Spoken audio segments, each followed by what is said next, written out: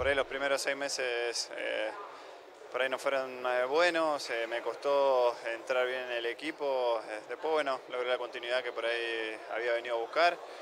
hoy estoy jugando, me siento bien y bueno, veremos ahora qué pasa. realmente no, no, hablé con nadie todavía, nadie me dijo nada de acá de estudiantes y bueno, de Independiente tampoco, así que bueno, no sé, no sé qué pasará después de estos partidos, también tendrá mucho que ver las intenciones de, estudiantes, depende también de Independiente que es el dueño de mi pase, así que veremos qué pasa cuando termine. ¿Y tu intención?